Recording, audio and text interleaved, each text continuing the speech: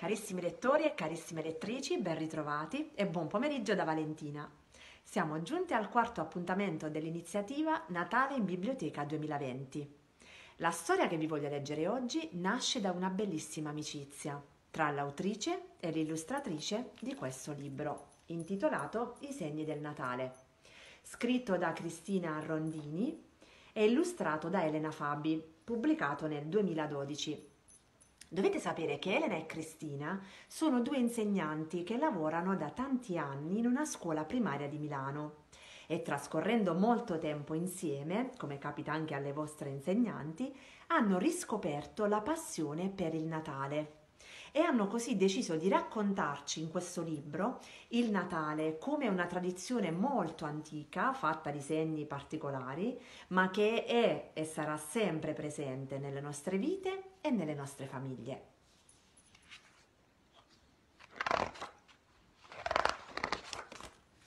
Sono le 6 di un sabato pomeriggio di metà dicembre e Anna, 8 anni, gironzola per casa cercando di decidere cosa fare.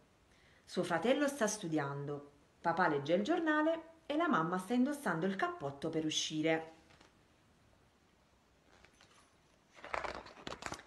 Dove vai? chiede Anna curiosa. Devo fare alcune compere prima che i negozi chiudano. È già tardi, risponde la mamma. Posso venire anch'io? chiede inaspettatamente Anna. Ma sono ricorsa e devo andare in vari negozi, ti annoierai. Ris- No, mamma, risponde la bambina. Preferisco venire con te. Non ho voglia di stare in casa. E va bene, risponde un po' spazientita la mamma, ma promettimi che farai la brava. Anna si prepara velocemente e segue di corsa la mamma che sta già scendendo le scale. Fuori è buio e la nebbia autunnale riempie gli spazi tra le case. Prima tappa, il supermercato. Appena le porte automatiche si aprono, Anna viene investita da un insieme rutilante di suoni e colori. Dal soffitto pendono pacchi infiocchettati così grandi che potrebbero contenere chissà quali doni e grosse palle di Natale dorate che sembrano dondolare ritmicamente al suono della musica diffusa dagli altoparlanti.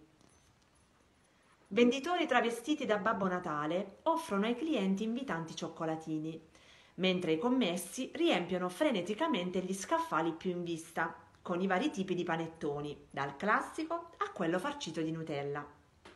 La mamma, già immersa in questo turbinio di suoni, colori e profumi, spinge il carrello. Intanto Anna la segue un po' sbalordita, ma si ferma all'inizio di ogni corsia, dicendo Mamma, Posso stare qui a guardare le cose di Natale? Sì, risponde la mamma. Io vado a prendere la frutta. Ma tu aspettami qui e non ti muovere. Anna sente in lontananza le parole della mamma perché è attratta da ciò che ha davanti.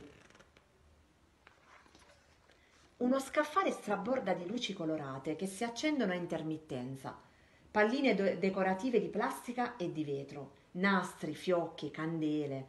Su un altro sono ordinatamente disposti in fila tanti pastori, madonnine, statuine di San Giuseppe, Gesù bambini, re magi, pecorelle, stelle comete, capanne e sacchettini di muschio. Mentre osserva tutta quella varietà, Anna pensa: Speriamo che il papà porti su presto dalla cantina gli scatoloni per fare il presepe. Mi piace un sacco giocare con le statuine anche se la mamma non vuole, perché dice che non sono bambole. I pensieri della bambina vengono interrotti. Anna, andiamo? La mamma la prende per mano e la trascina verso le casse. Seconda tappa, la libreria. Per raggiungere il negozio, mamma e figlia attraversano il ponte pedonale e si fermano ad ammirare le luminarie che si specchiano sulle acque lente e scure del naviglio. Che bello! esclama stupita Anna. Ma perché le mettono solo per Natale? chiede la bambina. Poi ti spiego. Ora dobbiamo andare, risponde di fretta la mamma. Arrivate in libreria, un altro spettacolo lascia la bambina sbalordita. Al centro del negozio campeggia un abete vero, tutto decorato con le copertine dei libri, che sono consigliati come regali di Natale. Rapidamente la mamma sceglie un libro da regalare alla zia Luciana, che compirà gli anni tra una settimana. Mentre la commessa prepara il pacchetto, Anna chiede sottovoce alla mamma, tirandole l'angolo del cappotto. Mamma, perché la commessa usa la carta con gli alberi di Natale? Che cosa c'entra con il compleanno di zia Luciana? Niente, risponde la mamma, ma in questi giorni hanno solo questa carta. Caparbia la bambina insiste, ma perché Natale è una festa? E la festa di chi? Perché si fa l'albero, il presepe, si mettono le luci, si mangia il panettone, che a me non piace perché ci sono i canditi. Perché? Mi rispondi, mamma? A quel punto la mamma si ferma un momento, quasi ridestata dalle domande insistenti della figlia, e guardandola negli occhi risponde. Hai ragione, andiamo a casa. Ho proprio in mente qualcosa che può servire per rispondere a tutti questi perché. Appena rientrate la mamma sparisce in camera sua e Anna la vide tornare subito dopo, un lib- dopo con un libro in mano. Ecco, questo può aiutarci a fare un po' d'ordine e di chiarezza. Anna legge il titolo. I segni del Natale. Bello, lo leggiamo insieme.